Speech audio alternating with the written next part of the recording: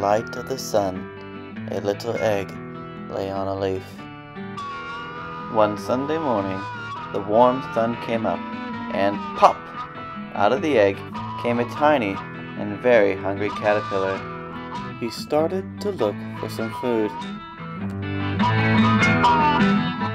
On Monday, he ate through one apple, but he was still hungry.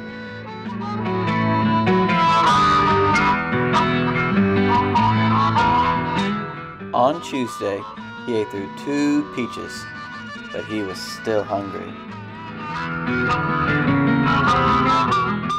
On Wednesday, he ate through three kiwi fruit, but he was still hungry.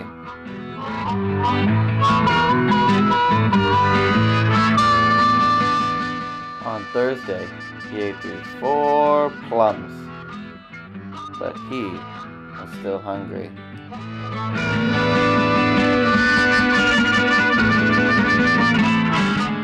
On Friday, he ate through five raspberries, but he was still hungry.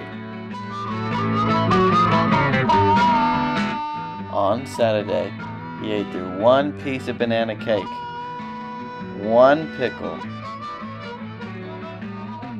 one ginger slice, one hokey pokey ice cream,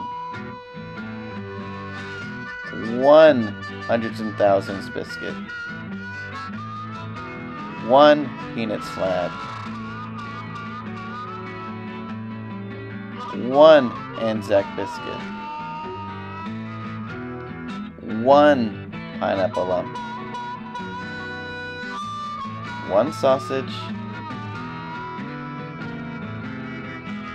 and one ginger nut biscuit. That night he had a stomach ache. The next day was Sunday again. The caterpillar ate through one nice green leaf, and after that he felt much better.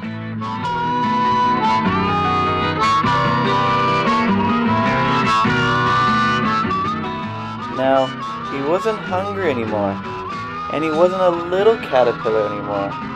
He was a big, fat caterpillar. He built a small house called a cocoon around himself. He stayed inside for more than two weeks. Then he nibbled a hole in the cocoon, pushed his way out, and he was a beautiful butterfly.